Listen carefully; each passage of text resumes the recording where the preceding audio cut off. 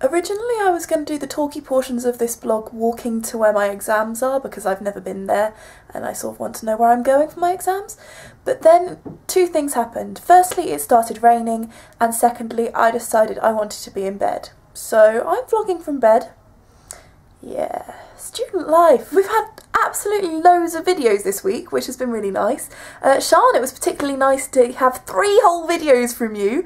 And you've been getting in touch a lot recently, saying you miss me and all that. So let's put it on video. I miss you too, and I can't wait to finish all these damn exams so I can come home and see you. Katie, however, I don't miss you, uh, because, well, it would be a bit silly if I missed you at the moment, because I actually saw you over the weekend, which was nice, because I came home for the Diamond Jubilee. Mum got festive with the decorations. Hmm angle change. I feel like if I mention the Jubilee, I should make some sort of impassioned argument about whether I'm a royalist or not, and and say good or bad things about the monarchy or republicanism or uh, I don't know anarchy. But you know what?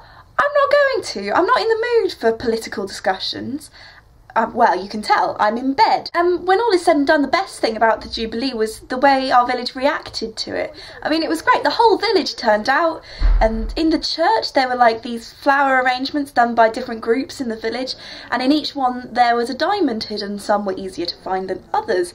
In the school hall, they had a, a coronation memorabilia exhibition, but more interesting were all the things that I remembered from being in junior school all those years ago. Like, for example, here's a tapestry which has a three legged sloth that I drew. My art skills have not improved. And then I met up with Katie in the rain. Look ah. who I found! Yeah! Thanks for poking me around. Sorry.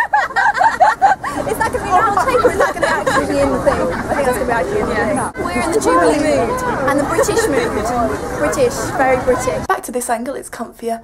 Thankfully we did get to put away the umbrellas for the concert that night, which was also great. Grace, my friend, was leading and the whole village was just on the green belting out things like, they'll always be in England. And England shall be free.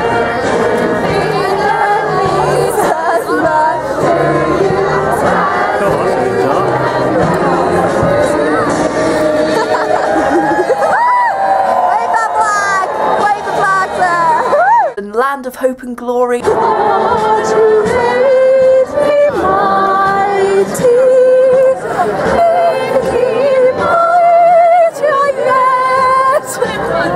the national anthem and Auld Lang Syne and so on and so forth. Auld Lang Syne, my dear.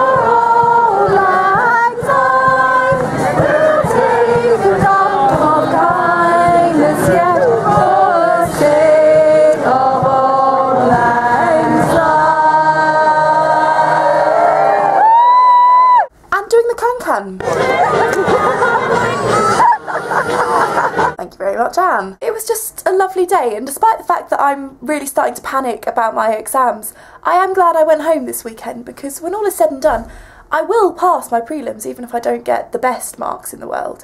But I won't live through another Diamond Jubilee, and yeah, I know that our village has a carnival every single year, but you know, there was just a degree of enthusiasm this time that there isn't always at the carnival. And it was just nice, okay? Sod the politics, it was just nice. Goodbye everybody! Bye! See you Saturday! Yeah. yeah, you'll see her, not me, obviously. Bye! End of the video.